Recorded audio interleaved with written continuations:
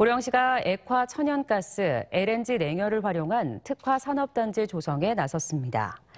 보령시는 어제 LNG 터미널과 한국가스기술공사 등과 함께 업무 협약을 맺고 앞으로 LNG 터미널의 기화 과정에서 발생하는 초저온 냉열을 냉동과 냉장 물류 산업 등에 활용하기로 했습니다.